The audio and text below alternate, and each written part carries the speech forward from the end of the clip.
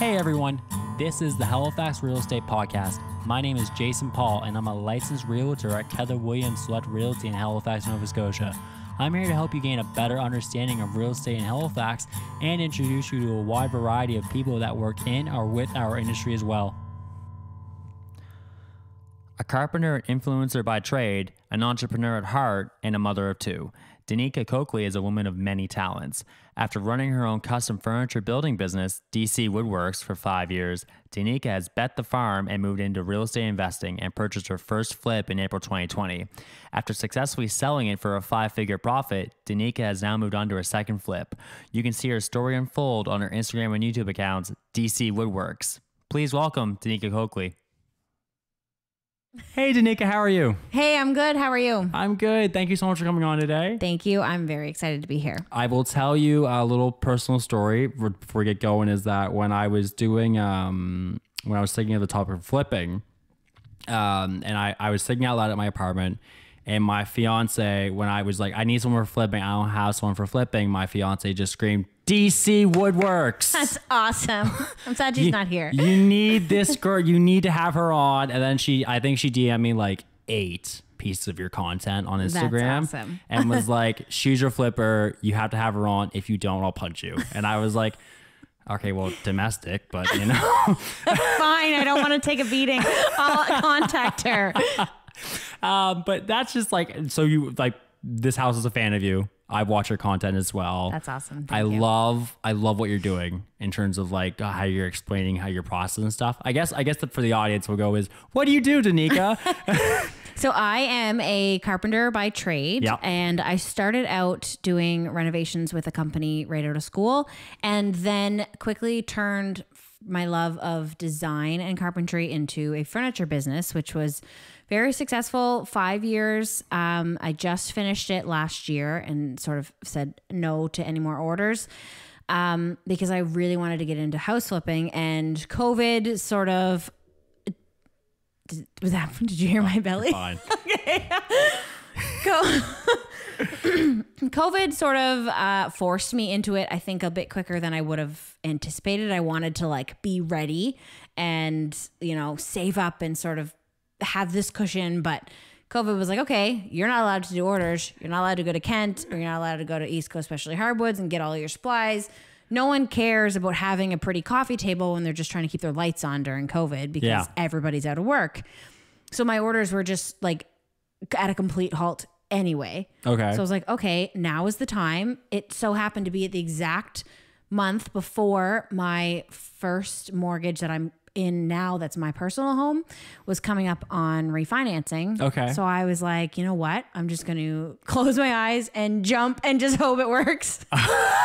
and it worked. it worked. It worked. It worked out. Yeah. So I'm on to flip number two. Okay. Um, I learned a lot during flip number one, and uh, I was extremely broke the entire time because you have no idea what you're getting into. Of course. This time around, I feel like I'm going to be about 80% broke. Next Okay. time, probably about 60. yeah. People see, I think my biggest thing is people see like, okay, you bought it for 230, you sold for 335. There's $135,000 you made. It's like, No. Nope. No. Absolutely not. There's so much more that goes into it that you know, like the HGTV doesn't talk about that. Like, Of course. how hard it is, like financially, how to balance, how to put just enough into the home that it's beautiful, clean, safe, and dry, but not like over above the neighborhood, like what that, that it can hold in the value. Like, I want to put waterfall quartz everywhere. Not every neighborhood can have that. Like, Yeah.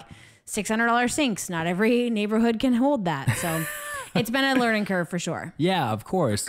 Okay, you've unleashed so much stuff in there. Well, I'm gonna go back. I'm gonna go back a little bit. All right. So I went on a you- tangent. car- carpenter. Carpenter. So, what got you into carpentry? Um, so my grandfather is a carpenter and well, not by trade. He's sort of like a DIY, learned everything Oh, nice. himself in like the woods in Newfoundland. The woods. Okay. Literally, like the town. Well, the town I'm my family's from is about 900 people, and that's my mom says that's in August when everybody's home to visit. so he's very like he cannot get house insurance on his home because it is so rigged up of things he's done. Oh, you they know what? work. Everything works like exceptional, but he had he's literally done everything himself, and it's just like the wackiest stuff. But he's Yeah. also extremely handy. Okay. Um, so we would always just play in his garage and like watch him do things. And he was always fixing stuff and building things for neighbors. And none of it was probably to code, but it worked. And it's certainly sparked my love of carpentry and like creating. oh, that's seeing him. awesome. Yeah. I, uh, my grandfather was a bit of a handyman himself too. He was bad though. Oh, like like my grandmother's house right now. Um, he took out the floor joist for some reason, and now and now Oh, no. now it sinks at the bottom. he's and, going like, on a slide. You can you can spill water on the floor and watch it like run to the back. And he did his own electrical, and sometimes it like shoots in and out, and you're like, yeah. And they're like, oh well, you know, Turn off the light, stomp twice on the floor. you know what I mean? Like grandfather Paul liked to do things himself, and you're like, yeah, yeah, he, yeah, he did. That's awesome. No, my grandfather was actually really good at it, but none of it was proper or Yeah. like to code, but his his brain just works in like this weird inventive way. Okay, so cool. where did you go for carpentry school? Or did you do carpentry school? Yeah, I went to NSCC for the carpentry program Yeah. and I actually found out 2 weeks in that I was pregnant with my second daughter. Oh, fun. Yeah. So I decided, okay, well, I can stop. Everybody, everybody around me told me, well, you're only two weeks in, like, get your refund back, have your baby, wait till she goes to school because she'll have two under two, and you know everything will be fine. You'll be able to refocus then. And I was so determined. I was like, no, heck no. I am powering through this. I graduated two weeks, two days before I graduated, I gave birth to her. So I wasn't able to attend the graduation and I had to do my exam online because I had a baby. Yeah. my instructor was like, part of the exam was framing up a shed and I was nine months pregnant. And he's like, I've had many women in my class, but nobody mm. pregnant. Like you, you're killing it. but she just went to school last year everything I've learned and accomplished through business, carpentry, furniture, flipping. I can't imagine if I had just started, you know, Today. last year when she was in primary. And Yeah. now I'm like, I'd be in year two of carpenter school and starting Oh, from the oh, beginning. I'm like, I'm so happy. I don't remember half of it because I was so tired. Yeah, of course. With two under two in school and working. But at the same time, I'm so glad I just pushed through it and got it done. That's that's incredible. The amount of people that like I know that would that would that would have taken the. Unfortunately, it is a hard word to say, but the easier way of just saying, "Listen, we're Yeah. focus on family." There's nothing wrong with focusing on family, but No, to, be able, 100%. be- to be able to overcome those odds and come out with, you know, you got your degree and then you went into carpentry. Yeah. Yeah. And I think a lot of it is too is like having like the entrepreneurial spirit. Yep. I fully believe some people have it and some people don't. Like some people are born to be entrepreneurs, other people are not. Both are fine. Yeah, of course. But I am 100% an entrepreneur. So I think that like power to push through obstacles you need to have as an entrepreneur. So being pregnant in carpentry school was just another one of those obstacles. Yeah. So you finished you finished school. You just had you school. just had a new second daughter. You got two under two. Yeah. And Oh, where did you go was from here? so I started, um, I was working with a renovations company. Shout out to Monk Renovations. They're phenomenal because I know Monk. Do you? Yeah, yeah. That's My, I know awesome. Mike Sens. Oh, nice. Mike Sens. I played soccer with his son, and Mike Sens like managed like three of my soccer teams Oh, growing up. that's Yeah. awesome. Yeah, like they're a great crew. Um, and Dan, the owner, actually allowed me to work three days a week Yep. after because he was like, no, like I did the work term with him. He was like, you just let me know when you can work. And that is so hard being a female, being a mother in trades. Like you already have such a like Stigma. stigma of like, you know, bitching out or like needing to go home because your kid's sick or like, Yeah. you know, like the, it's just you already have this like crappy stereotype on you anyway. Yep. That like, but as a woman and a mother, you do have more of the responsibility just naturally to be home with the kids. So like it is so tricky to find that balance. So finding a company who was like, yo, I know you need to do the mom thing. I know you have to like be home for suppers, get them at daycare at 3:30. Like that's fine. You let me know your schedule and we'll work around it. It was the biggest blessing because had I been on a crew that was like, no, if you can't be here 8 to 6, you're not here. Like I was able to learn, but I was still able to balance Yeah, being a work mom. life. Yeah. Work life balance. And so I worked with them for just under a year. And I started, uh, in the meantime, when the kids were napping, I started painting signs and building like small pieces of furniture. Terrible, terrible pieces of furniture. People bought them. I'd put them online for like super cheap. And I would build for my mom. I would build cabinets that were probably so out of square, so terrible, but they just loved everything I built. They saw how, you know, it, it totally set me on fire. And then it just sort of like spiraled into I was getting better. I was trying new techniques. And then when I was like off mat leave, I guess you would Yep. say, and I told Dan, like, I so appreciate the opportunity. I absolutely love that you Accommodated me. accommodated me Yeah. and my family. Um, but I'm gonna try my business, and Yeah. I started DC Woodworks, and I hadn't looked back since. Dan was awesome. He's like, "Let me know if you want to come back. Like, you always have a job here. Like, I'll totally take you on. We love you, but good luck." Uh, and then, yeah, my furniture just sort of set off. Wow. Yeah, and the last three QE2 homes is probably, I think, my biggest um, accomplishment for furniture was I furnished the last three with uh, 15 to 25 pieces in each. QE2 homes. Yeah, the That's- beds, the kitchen tables, I built all of it. No way. Yeah, um, That's a huge accomplishment. Yeah, it was pretty cool. Those homes are, you Yeah. know, for the audience that doesn't know, the QE2 home is a lottery that happens twice a year. Uh, the QE2 is a hospital, major, major hospital in Halifax, and they do a, you know, you can buy a ticket to win the show home. Yeah. And these are an event. Like, Oh, like, it's like black tie event, wine and cheese. Yeah. Like, we, AKA not me. like Anya, whenever the QE2 home comes on, we have to go see it. Oh, yeah. And like, there's usually a crowd of people. Yeah, it, you're you're like lined up Yeah. to get in. Yeah. Yeah, so that was pretty cool, and that really took off my business. The first one I did, um, everybody wanted you know duplicates of the coffee table, of the furniture, Yes. the end tables. So like I was pumping out orders like crazy. What was your first one? What year? 2017 maybe. Here's something really funny. The background of my laptop is that home. It's oh our my god, it is. it's our dream home. That's amazing. It's literally it is it is the reason why we get up. It's the reason it's literally the house we want to buy in like That's five to ten years. That's so cool. Which is why I asked what year it is because That's that's so what that cool. that home on Were that you the spring lake. or fall? uh spring. Okay, I, mine was the fall. So I Oh, don't. um, it might have been I don't know. I have to ask Aiden. we'll have to go through photos. We can go for the photos, but I Dig haven't. deep in my gram, and they're all there.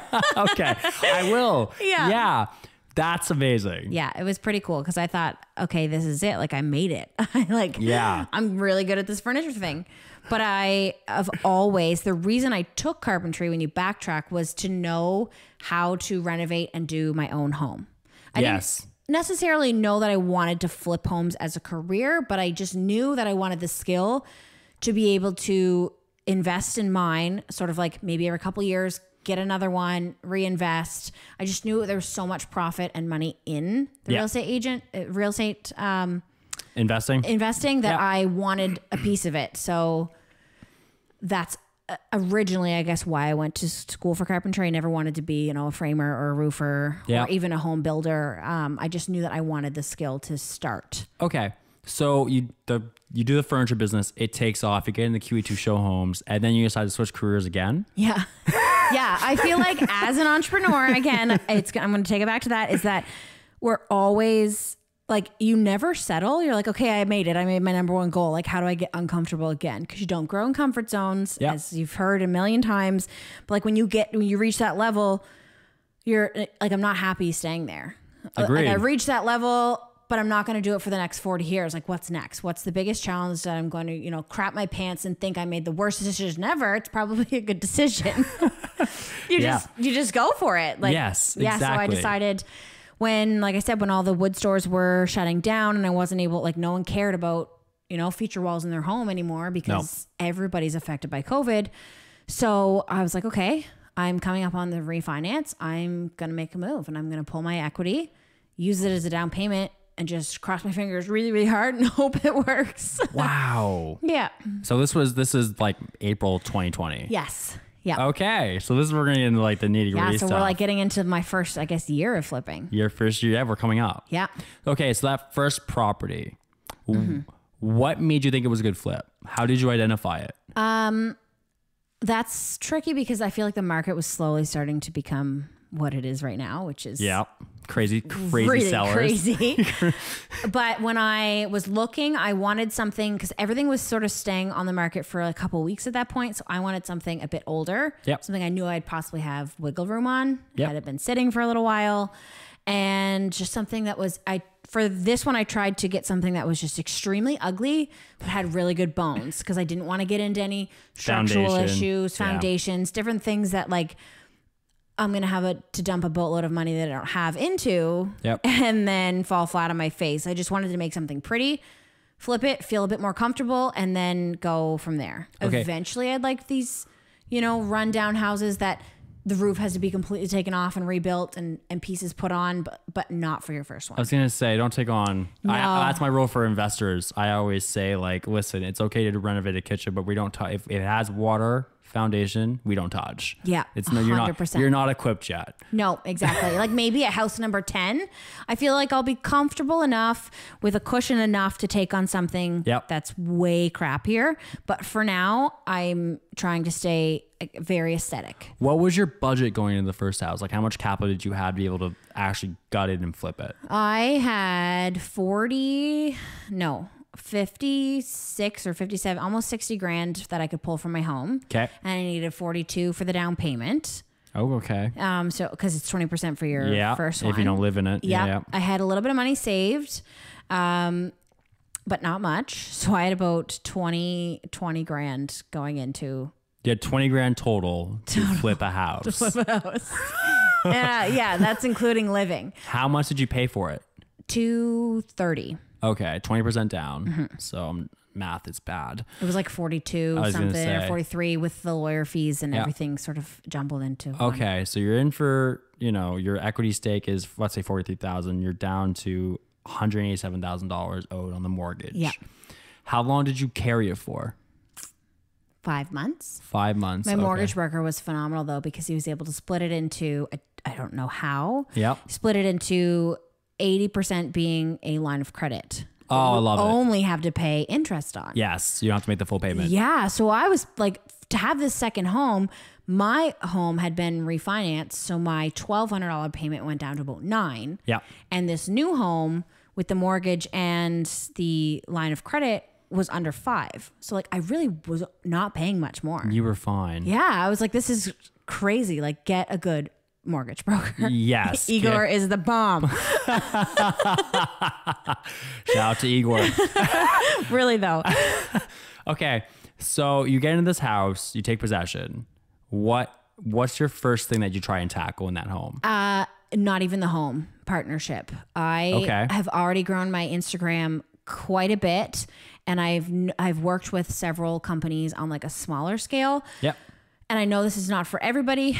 If you're not, you don't have an online presence, you you should because Yes. there's so many companies out there wanting to showcase their work, and it's way more time and money effective. I don't know how how you say that to Partner. partner with say 50 small influencers compared to one TV commercial. Like Yeah. you get such a bigger reach, a better reach, more authentic reach. People know me and my story, they've been watching it. So like partnering with me versus throwing a TV ad on commercial, you might not reach as many people, but you're going to reach like true authentic people who care what, what I have to say. Yes. So I was like, okay, I'm reaching out to everyone. I must have sent I'd say a 200 emails. And you, and so that's how you and that's how you got with Kent. that's how I got with Kent, um, with DeWalt, with Blanco sinks, and a few more. But like Okay. out of the 200 emails, I probably got like 189 that said absolutely not. Yeah, but that's when you go when you talk about the entrepreneurial spirit. That is it. Yeah. You eat dog shit until you get a hit. 100%. And then so this second flip, I know we're going a bit forward. Yep. Say I reach out to the 200 emails. Well, I maybe got about 175 no's, and I got a couple extra yeses that had seen what I have done. Yep. And we're like, okay, maybe we'll give her a shot. Now you have credible. Now you have credibility. Yeah, so I'm I just know that I'm just constantly when people are like, "Well, we don't really partner with an influencer of your size at Yeah. 17,000 compared to, you Yep. know, 130,000. Like I'm a micro influencer."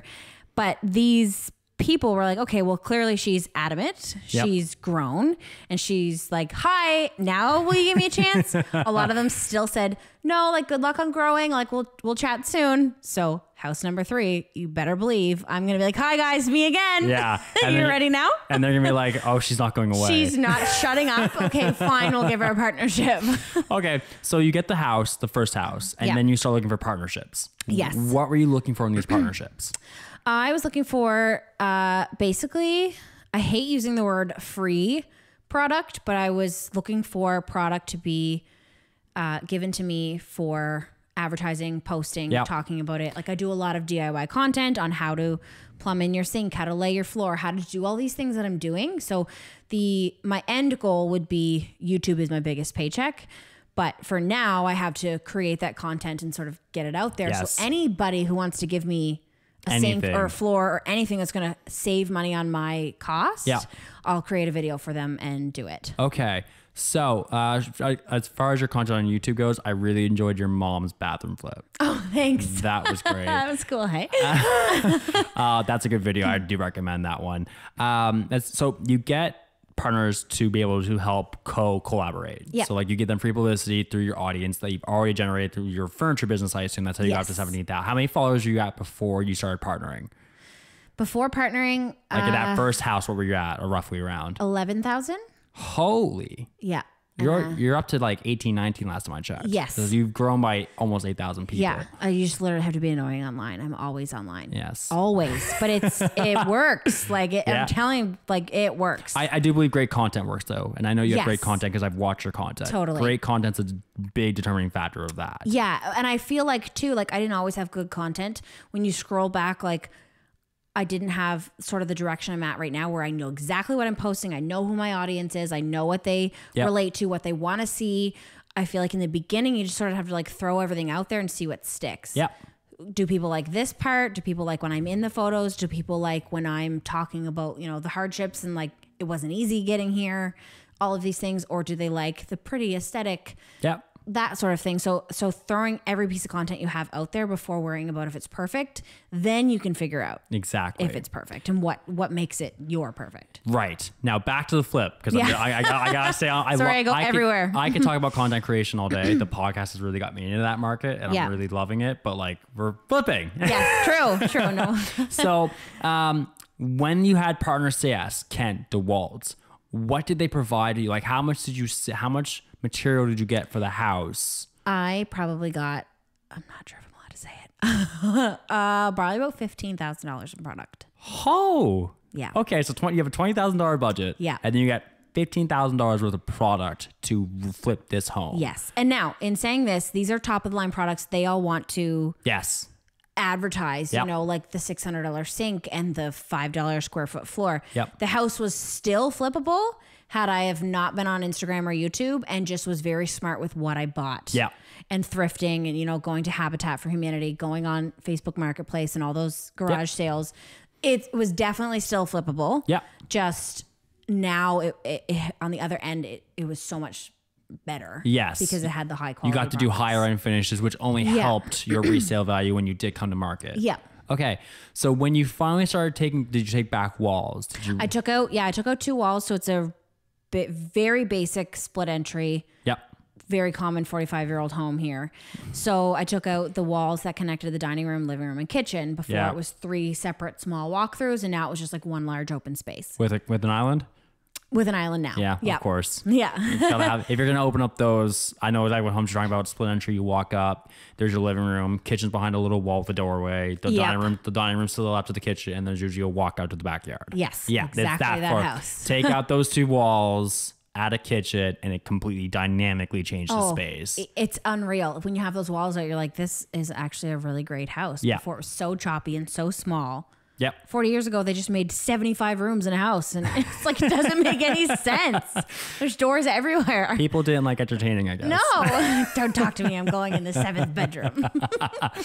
So, how long was the renovation process for you to get that thing from what, when possession wise, to market ready? I was 16 weeks, um, but I am also a savage when it comes to work. So I was working when my kids went to their dads on Saturdays and Sundays.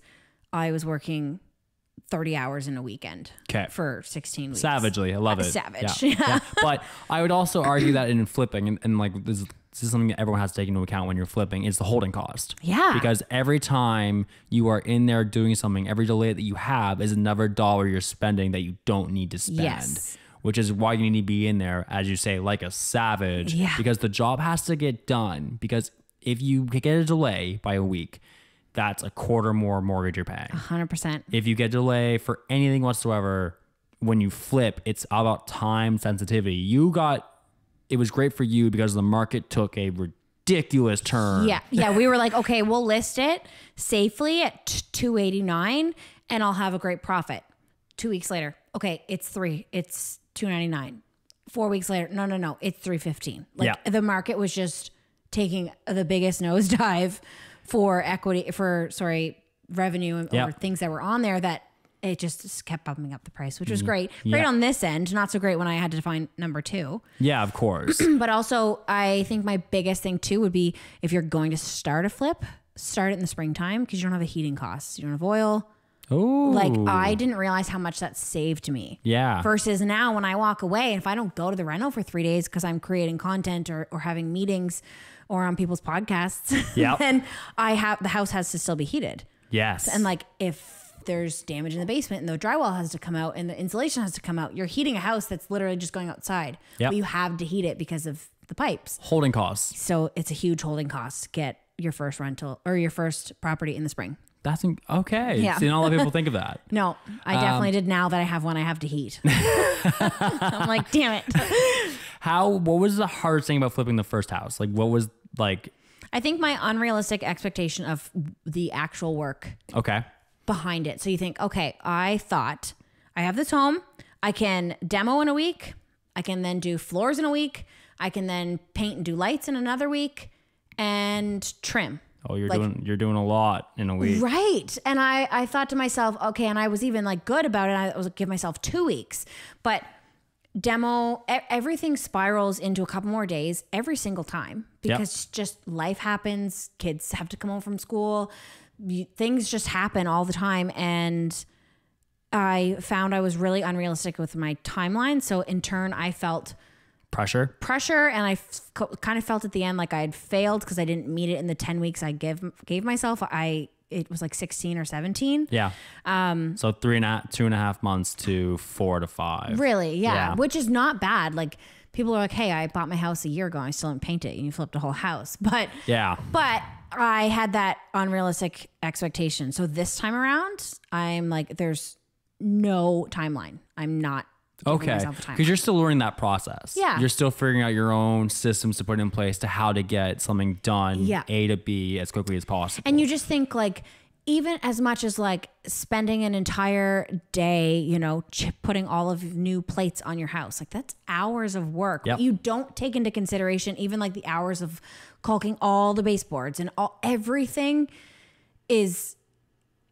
I just didn't have a uh, like a real expectation. especially when you're doing something to a high level that Yeah. takes a lot of patience it takes a lot of um, uh, focus Yeah, you have to make sure that and like when you're doing carpentry when you're building a space it's measure three measure three times cut once because Yeah. that has to be sure because 100%. as you just said you got $15000 worth of free material $20000 in the bank you could not waste material No. there was no room There's no room at all. to make a bad cut yeah and so i was just like i have to i have to be very focused and also like i could have just thrown regular carpet in it and Yep. still would have sold i could have updated it a little bit. It's still a soul, but like like you said i wanted it to be like a Yes. showstopper. Yeah. every room has a feature wall. Every room has like a cool design. And like that's not always the case. If you're not if you don't want to be on instagram you don't want to create content you just want to flip ho- homes you don't have to have feature walls in every room. No. you just have a, a clean dry safe room. Yep. but I knew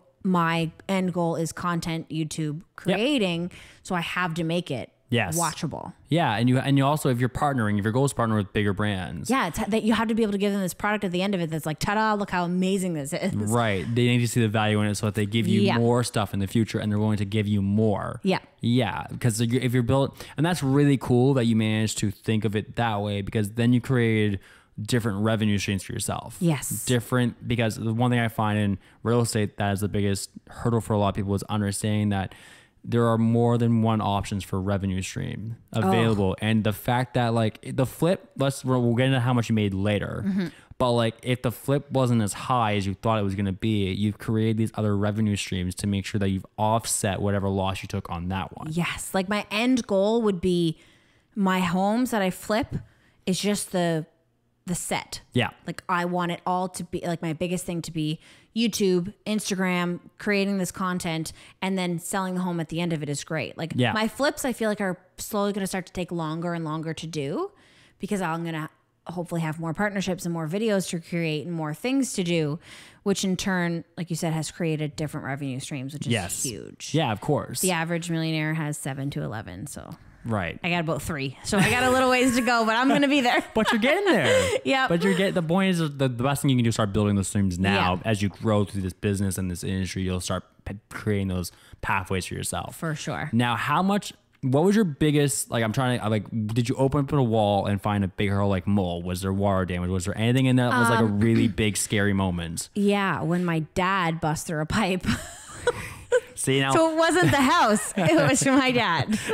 see now, when we talk about flipping and demoing and renovations, that's the stuff everyone's scared of. Yeah. If I want to like crack open a wall and there's mold or like wow, Yeah. And there was a lot of mold in this basement. Was there asbestos? No. Thank God. Yeah. Because the home, yeah, no, thank goodness. Um, But my dad was left to do demo on a night that I was the one time, like I said, I'm a savage when it comes to work. So I thought, okay, I'm gonna go out with my girlfriends, and Oh, my. it's her 32nd birthday. We're gonna go out. I'm gonna walk away from the flip, and then 20 minutes later, I get a call. Nick, you have to come here. You have to come over. The pipe is like, well, how do I do this? Keep in mind, my dad can't hang a picture, so telling him to shut the water off is not a thing. No. So yeah, that happened, and that had to all be cleaned up. Thank goodness the subfloor wasn't down yet, but but that was definitely like a big panic. Yeah, of course. And then when I opened up the back door, I took the deck off, and the entire back side of the house was rotted. And oh. I like boohoo cried. So I was like, this is not supposed to happen. It's supposed to be just aesthetics. I've never dealt with rot like Yep. this ever. Um, so that was a big learning curve as well. yeah. But I'm kind of glad it happened because I learned how to fix it.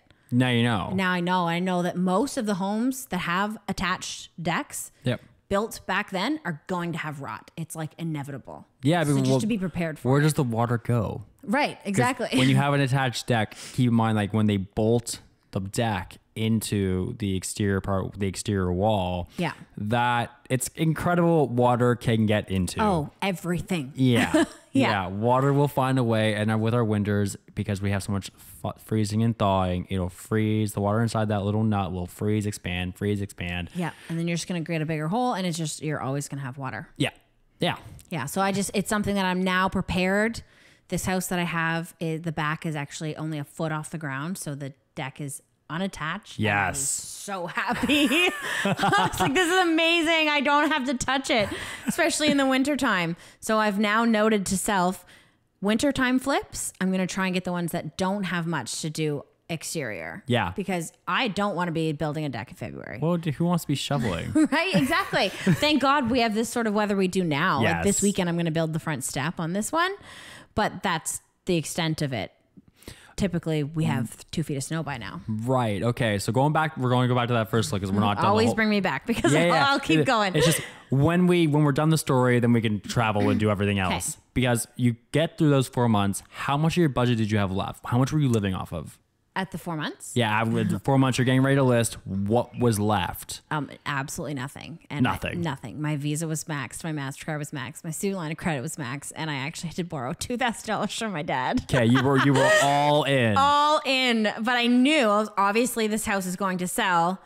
I could have sold it earlier. Yep. Was I not partnered with people because I could have sold it, you know, without a feature wall in every room and Yep. without the beautiful lights and different things? Wouldn't have got the price, but I wouldn't have also had to borrow money from my dad. So it was like, which way do I want to go? I want. I'm. I'm thankful that he's there. That I can say, "Hey, Dad, I'm broke AF, and I need need two grand. two grand Yeah, until we look close at the it." work. Look at the work I've done. Yeah, please so I knew me. I knew that was thankful that I had him. A lot of people don't have that, so just No. to be very prepared. And if you're trying to maybe go the content way of flipping, maybe do your first one without doing that. or Flip it and get it out of here, so you kind of have like a bit more understanding of how it's going, or or you already have the cash in the bank from the last one. Um, One thing I would say for the content side of the flip is just take before and after photos. Yeah. And take it before walk through on the day you take the day you pick and session. story what you're doing that day, Yeah. but like maybe not. I went hard with the partners. But you had like- to. You set yourself up for that. Yeah, right. You- exactly. You, create not like it's crazy because at like at the same time you're trying to get into flipping and create that business model for yourself. You're also trying to create a partnership business model for yourself. Yes. So you're servicing two businesses over four months at the same time with you know the amount of money you had and you have nothing coming in because you. I was a homeschool teacher at that time too, because the kids are home from COVID. oh yes. Just gonna go jump off the bridge. See ya. but I also am a person who cannot sit down. Like I. It helps to have ADHD. Right, one hundred percent. It totally does. Because on Sundays, and it's like, let's lay in bed and watch a movie. Like uh, seven thirty, my mind, I'm awake. My head is like zing, zing, zing, zing, zing, zing, zing. Like all the things I have to, like I want to do, what I have to do, like goals, aspirations, dreams. Like there's no sitting down and putting my feet up. So like always having a million things to do, I think really is- Helps. helps me. Helps. yeah. for sure. So you're getting so finally the house is ready. You've gone through the rotting wood. You've opened up the walls. The the floor's laid. When you were, I'm gonna bring back before we come into this. Did you bring in subcontractors? Did you have people come in and do other parts of the work I did everything myself except the plumbing and electrical. You did everything. Everything. wow. Yeah, even the drywall. And then eventually at the end, I realized I need a drywaller to come in and do the bigger spots because I'm terrible at it. Did you do the mudding? All of it. Oh, I'm and sorry. then he came and did like the skim over. And now going forward, I will never touch drywall again. It's Yeah. like the one thing I was like, I'm going to, it's a cost I can save three grand on Yep. because I clearly don't have it. And I can do it myself to the best of my abilities, learn, and then next time know that that's something I want to contract out. But currently I don't have the money to. Yep. So just being extremely cautious. Like, even if you don't like the job, you damn well have to do it because Yes. you don't have the money to not do it. Listen, I've mudded before. I mudded for the. Remember how I told you we were doing the renovations Yeah. last year? I had to do the mudding. I, I don't know why they made me mud. Like I don't know why. I can't pick up a hammer. it people think it's like an easy job. I think they thought it was funny. There you go. Yeah, it's not an easy job. It's just gonna be really funny to watch them try and do it. It was really bad. They had to come back and redo it. Stucco. And never- Without the intent of stucco. yeah, never, never, ever again. Right? Okay, so you've done everything yourself. Kudos, you are a savage. Thanks. Yes. Um, your game rate list. When when did you hit the market to sell?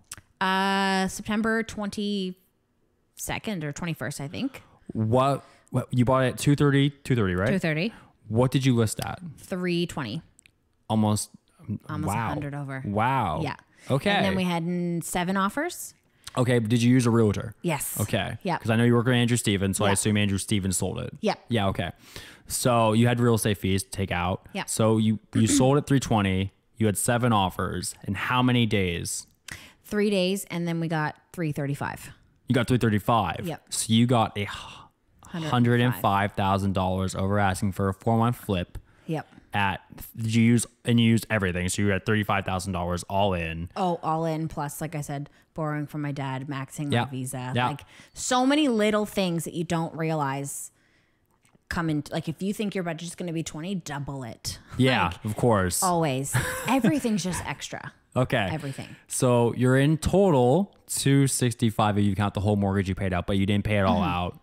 So you're probably paid about, you know, like maybe after holding it for four months, probably 180 plus 35,000. So you're probably at like, let's say 215. And then you sell for two, 235. What? 335. 335. Sorry, 335. Yeah, my bad. What, how much did you get? How much did you walk away with after all your expenses? Uh, I think it was about 82,000. You walked away with eighty thousand dollars. Maybe was it? Oh God, this is terrible. I should know this. So my, th- I got 135 back. Yes, because I got the down payment back. Okay. So, but then I paid everything. Yeah, it was about 80, 85, in between 70 or 80,000. Okay. So, and then you did you pay everything? Was that net or gross? Then you have to pay everything out. That was gross. Okay. So, at, what was what did you walk away with net? I think about 50. Congratulations. Thank you. Yeah, That's a huge excited. flip. Yeah, huge. And I think even like I said, without the partnerships, without all the high end finishes, I probably could have easily walked away with about 30. Yeah. Which is still a very successful first time flip. Yeah, of course. Yeah. So you walk. So what came out? What were your actual expenses that had come out after your cut of let's just say seventy five thousand? What had to actually come out? Um you mean like flooring and stuff like I mean, like, I mean, like, because you you grossed 80 Mm-hmm. like, okay, and then you walked away with fifty. So, like, how did the capital? How much capital gains did you pay? Because when you Oh, sell I'm a house, pay eight. Ooh, I think it's like eighty seven hundred for capital gains. that's not terrible. It's not because so everybody had warned me. Okay, don't don't flip because you're gonna have capital gains. First of all, I have no issue paying taxes. If I have to pay a hundred grand in taxes, it's because I'm making a million dollars. yes. So I'm fine.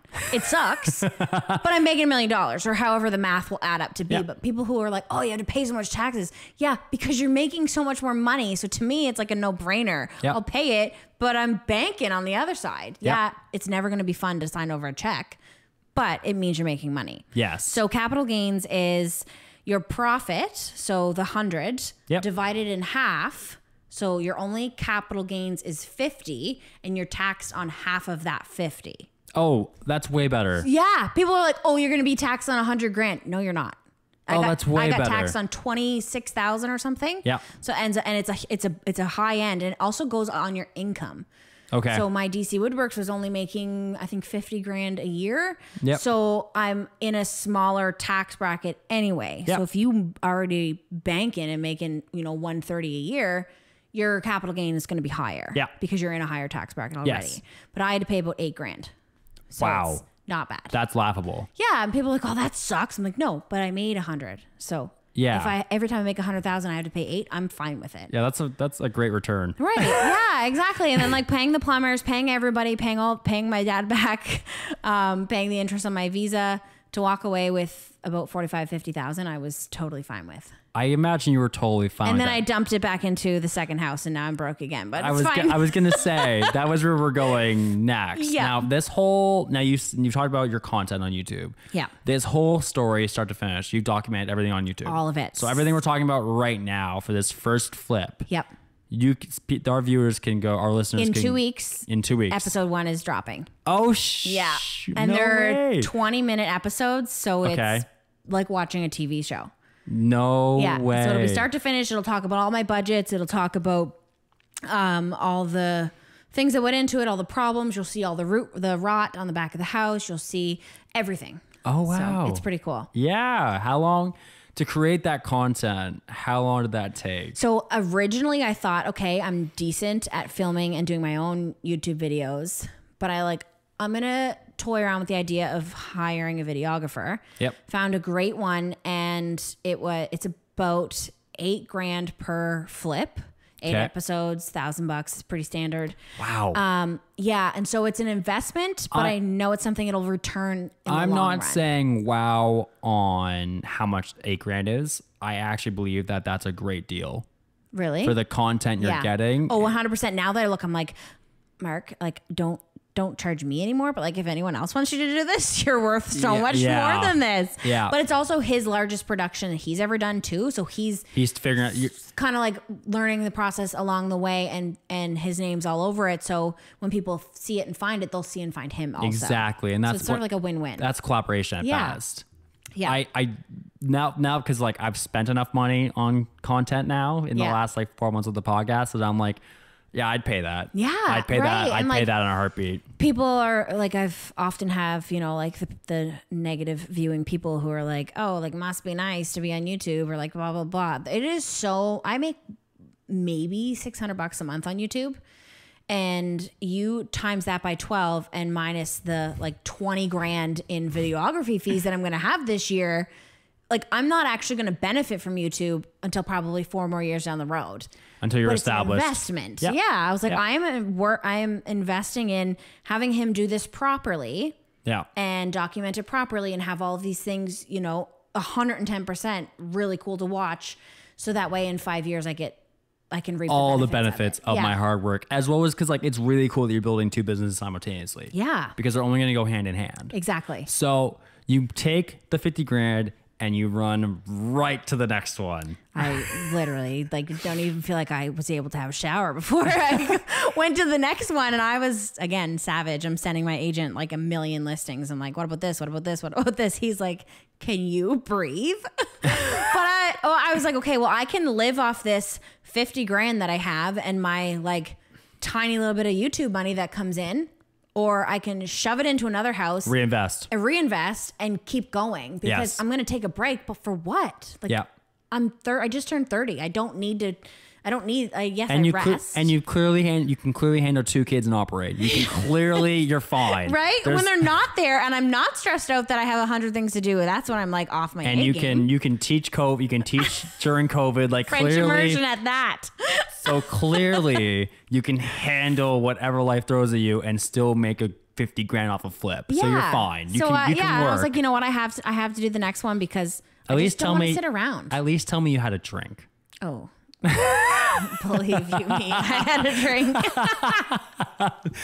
there was celebration. There was a big celebration. Oh yeah, a big one. I was quite happy. Okay, so I'm, I'm really interested in this aspect. You you get the fifty grand. This is when did you close on the first one? Uh, October, about four weeks later. So I think around the twentieth of October. When did you get paid? that day. That, that day. Okay. Yeah. 50 grand in the bank account October 20th.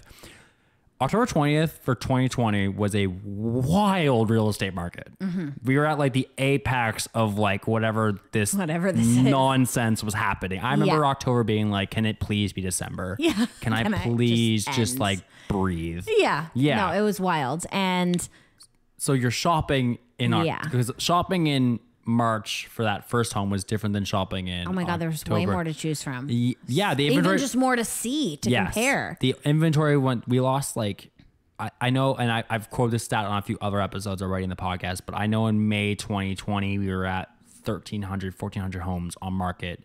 And that's condos included in all of HRM. Yeah. By December, by I think October, we were at, I think it was like 900. That's and then. November was like 750. And as of January 1st, we're down to 600. So like to give you an idea and like the inventory you're shooting through. So when you're going shopping, because Yeah. it's really because I'm highlighting buyers here. How was shopping in the in Um, November? I still feel like it's not as bad for me because I want the ugliest, grossest house. The things that sit. so if I'm fighting for a house, I'm typically fighting with three people versus 15 people. Yeah. Like I have friends who've been looking for a house and have offered on like 25 homes in the last year, Yep. overpriced, and have still been outbid by like 20 and 30 grand. Yep. And but they're looking for move-in ready houses, houses that just need a little bit of love. Like maybe you don't like the paint color, change out the floors in a couple years, but everything's livable. Yep. So this house that I'm into now had mold in the attic. Okay. The roof is basically caving in, and there were seven foundation cracks. So I took a bit more of a Oh, you're taking on. Yeah, like I knew the mold in the attic was. I got it quoted first. It was eleven hundred bucks by asbestos abatement. Yep. They just come in and spray Okay. lifetime guarantee. Wisecracks was 300 bucks a crack. So it was a couple grand up front. That's not bad. no, and so it was like 1500 bucks in cracks or 1800. Um, but I can then again give both of these pieces of paper to the new home, homeowner and say like Peace it's of been mind. done properly. Here you go. And then I have my roof guys for the roof, which I mo- kind of figured most of the homes I'm going to put a metal roof on anyway because it's just like such a nice Way better. yeah, it's so pretty. People love it. They just know they're getting a good house. So, but that's not something that every homeowner is willing to do. Plus, on top of it being so ugly on the inside. Yeah, I've seen the video. Yeah, I, I, wa- like I- wallpaper I watched the and walkthrough. paneling everywhere. The wood paneling on Yeah. like the entry stairs. Two uh, types of wood paneling. I know. with burgundy carpets and like four wallpapers in eye view. It's crazy. it's like your brain is on drugs. when And this is on house. and this is on Poplar, right? Yeah, it's on my street. Yeah, it's I'm on your like, you live on Poplar. Ten houses up from it. Oh, that's easy. Yeah, I can walk down to it. It's Oh, great. good. Okay, because yeah, some of our uh, some of our close friends are on Poplar, and it's really funny. Oh, nice. I was watching I was watching the video that you, the, the walkthrough you did. Yeah. that you posted recently, and I was like, oh my god, she's on Poplar, and, and you're like shopping, like, oh my god, I know where that is. I can go drive by it. I'm Yeah. like, yes, you can go. You can Tell go. her to come in. Tell her to come see it. She can have backstage pass. So this is so. When did you close on the new purchase? November 27th. November 27th, you took possession. So it was like 2020, 20. yeah. What's the timeline? Um, I took three weeks off at Christmas because having it be my second flip, I now have no debt on my cards. I was like, I'm able to take a couple of weeks and Chill. chill with my family. I didn't have it in between the houses. So I my goal was to have all of the demo done, which it was before Christmas, and then take two to three weeks off, which I did, which were phenomenal. Good. And then now I'm at the the rebuild stage, and I think from here I'd say eight to ten ish weeks. Okay. Um, if it's longer, that means I have more partners who needed more content, so I'm 100% fine with that. But I think end of March will be my End of March, Goal-ish. just in time for spring. Yeah. Spring market when that Yeah. peak hits. yeah. So uh, I will come back to this though. She did specifically ask for partners. So if anyone's listening and needs to team up, you know, you can call DC Woodworks Denika. I'm great. so you're eight to ten weeks before you, it comes to market again. yeah. Um, how? What's the budget for this one? Um, it's roughly the same. The numbers are almost identical. I bought this one for 222. Okay. The other one was 230. Yep. I'm hoping to list for about 310 to 325, depending on what happens and what goes into the home and what the market's like. Um, but they're pretty well the same budget, which I found really nice. They're both split entries. This one's just a little bit smaller, but the area is better, meaning like the it was all semis by Taranaki, so I was really pushing the threshold of Yep. the neighborhood. Whereas Poplar, I'm around other split entries, so it's a bit more balanced. Um, so yeah, I feel like the numbers are pretty well the same as last time. What's the budget this time? Uh, or, or is it rough- into roughly yeah. the same. Roughly the same. Yep. Okay. So Just because I know I'm always there, it's different. Like last one needed all new floors because it was pink carpet. yeah. This one only needs a little bit of floor, but it's hardwood floor, so it's a bit more expensive. Yeah. Um, and I'm doing like a DIY lace-in flooring. I know. I, I've seen it. I'm really I- excited. I've seen the video and it looks it looks annoying and hard. It's really annoying. Um, in the video, I've um, like asked me halfway through the project, I would have said I'll never do it again. Now, stepping back and having it done and knowing that there's beautiful oak throughout the whole house, I 100% would do it again. How, how's I haven't seen the effect. I haven't seen the finished product, but how's the effect when you walk in? It's amazing. Yeah. You can't. Yeah, it's. I just feel like hardwood is just always going to be like the king of all floors. Always. It's so good. Hardwood's amazing. Yeah. Um. So same budget. How much have you gotten? Of what you got? You said you got more partners for this one. Did Yeah, You, did and you so- get more material?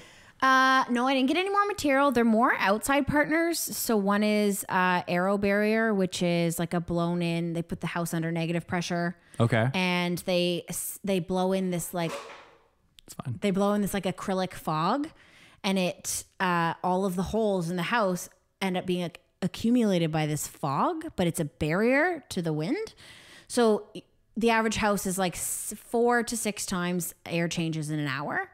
This will bring it down to one. Huh. So it's like extremely efficient Yeah. and eco-friendly and like utility friendly and your all your bills will be down. It's a great thing to pass to my new homeowner, but like it's not something that I needed No. in the house. You wouldn't have done it if it wasn't a partner. No, exactly. So it's a partner who wants to show showcase what they're doing. Yeah. So it allows me to offer the new buyer this like really unique feature that you know the house is super super airtight, and they'll they pay me on Yep. top of doing that. So Wow. it allows me more material or Yep. you know to pay for my plumber. Yeah. And so it ends up working out really well. Huh. Yeah.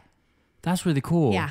it's it's amazing what like having good content can give you. Yeah, Because it's people true. want to attach themselves to that name to get their brand out. For sure. And I think my number one thing for content is like not to worry about when it's perfect, to just get it out there and to be authentically who you are. Because there's been times when I started creating content that I really fell in the let's make everything like white and oatmeal and beautiful and like in my world unachievable. I'm a carpenter and I have two small kids. Like in my house and my life is just messy. It's Yeah. just everybody's is. Like so I started to get away from trying to make my content like theirs. Yep. It works for them, it's great for them, but I was like I need to quit trying to become this look on Instagram that I feel like I should be and I was just started to be me. And that's when I noticed I was gonna say that's when you. I think up. that's like when you really figure out your Yeah. audience and you And figure people out. like, we want to know that, you know, your house is messy like ours and we feel normal because your house is messy. I Or- wouldn't be surprised if the biggest takeaway from this podcast is you in school. Yeah. I really, I really like. I wouldn't be surprised if I had like people call me being like, "Dude, she did what?" Right. You know what I mean? Because like the next time someone tells me that they can't do something, I'm just gonna be like, "Well, actually, listen to this episode and call in this second, You can do it. and it. then you tell me what you can't do." Yeah. it's we'll- literally a mindset. I'm like, I can do this. I'm going to be around the same 24 hours, whether I'm pregnant and in school or working or on mat leave. Like I, I can do it. You can, you can, you can do it. You can do so, it. So okay, so this this flip is going to end, you know, potentially in April. Yeah. Uh, hopefully, maybe I'll bring you a buyer. We'll see. Yeah, there you go. Um, this flip is going to end potentially in April. What what's what are your goals and plans for the next like three to five years? Because in real estate investing, it's all about growth and pushing Mm-hmm. that pushing the envelope to the next level. So, what are you looking to do? What are you hoping to accomplish in five years? I'm hoping that at the end of this flip, I can buy something in a zone that I can turn into two units or three units and have rentals. oh. So I want to do Oh. like flip, sell, flip, sell, Yep. flip, keep. Okay. So every couple, I'll sell a couple to keep my capital gains down, or even sell one, rent one, sell one, rent one. Yeah. Um, because I, again, if anyone asks me my retirement plan, it's always real estate. It's Always. Just, I'm just going to sell the 10 properties I have Yeah. that I hope to have, and I'll be good. yeah. so, yeah, I think uh, basically it would be to get rental properties and accumulate wealth through real Yeah. estate. Yeah, Exactly. And create that passive income because you know you need apparently seven eleven streams of income to become a millionaire. and YouTube. I really want to grow YouTube. Like I said, I definitely want my houses to be the content, but in reality that YouTube is what pays my bills. The content is just like an extra. yeah. And so if it takes me, you know, 9 months to flip a house cuz I have 75 videos I'm going to pump out, it's not a problem with those holding fees because the videos are going to be what pays me versus The, the, house, house. house itself, which is the house is a stage. which is a really important thing to know because it's like when I always find when people talk about housing, I mean flipping, flipping houses, because it is not, it is probably the unfortunately the ugly duckling of in real estate investments. Oh, 100%. Not a lot, a lot of people are like burrs really in fashion right now. Mm-hmm. Um, buy and hold if you can find the right areas, always always gonna win. Yeah. you know, uh, there's so many other strategies you can use, but I find like even for me, I always thought flip was like I was like in Halifax you can't flip. That was my that was my thing because I was like Yeah. I was like the numbers don't work. Like there's Yeah. no way because I thought capital gains was way more extreme than it not. was. So like to see that come to full fruition, it's like, oh, okay, this works, and here's someone who's done it at a really high level and is building a career off of just Yeah. straight flipping. Exactly. And it takes a like the cool thing for you and your business right now is usually like whenever I talk to an investor, it's usually about tenants. yeah. You don't have to worry about that. No, and that's the thing. I'm like, I don't know if I'm ready yet for tenants because I like to sell the house, walk away from it, and be done. You weren't ready for that rotted back deck though, No, I and you figured It's that true. out. it's true. you'll- Hopefully, I don't get rotted tenants. But if you do, you'll figure it out, right? yeah, exactly. Um, and I would, I think for the one that I do keep, I want to get it in like a decent area so the price can be up, so that way that it's you know somebody who takes pride in, Ownership. renting and ownership, Yep. and the house won't be destroyed. Um, because I feel like that's that would be my biggest thing is if I put my my soul into these houses, which even when I'm renting, I know they're all gonna have feature walls. They're gonna be unique. That's just how I do things. I can't just do it standard. You do you you put your splash of color on it. Yeah. Which is what makes it um it makes it more enjoyable for you. Totally. And it's just like such a more content. It's just a better after. Yep. People love it that much more. Um, so if I was to ever have somebody destroy that, I would feel like I would be heartbroken. They might be destroyed. right? Yeah. I got a hammer. Denika, I have to say, like, this has been an absolute pleasure. Thank you. thank you so much for coming on.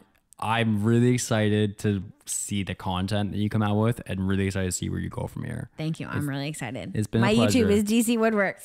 Put that plug in. When when the second one is done and sold, Yeah. come on back and share how it went. That would be awesome. Yeah, by all Totally. means. Okay. For sure. Thank you so much. you. Bye. See ya.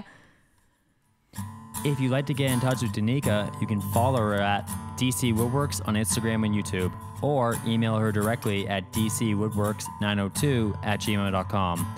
And if you'd like to get in touch with me, you can reach me at 902 220 7357 or jason.paul at kw.com.